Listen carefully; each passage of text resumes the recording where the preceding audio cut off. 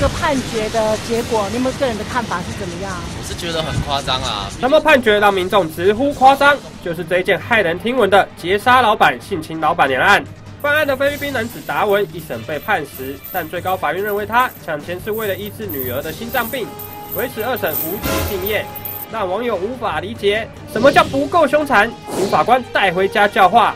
因为验尸发现，遇害的老板头颈、躯干、四肢被达文以铁锤、螺丝起子攻击，造成一百二十一处伤痕。